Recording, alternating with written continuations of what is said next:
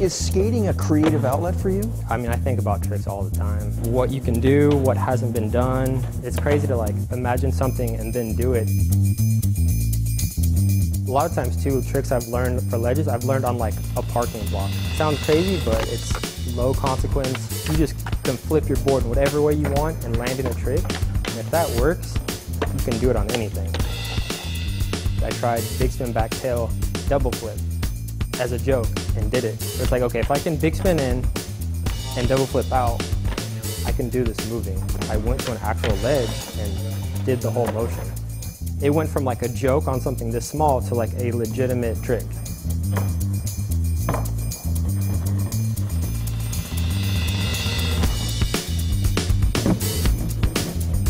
Most of the technical tricks, that's been the process.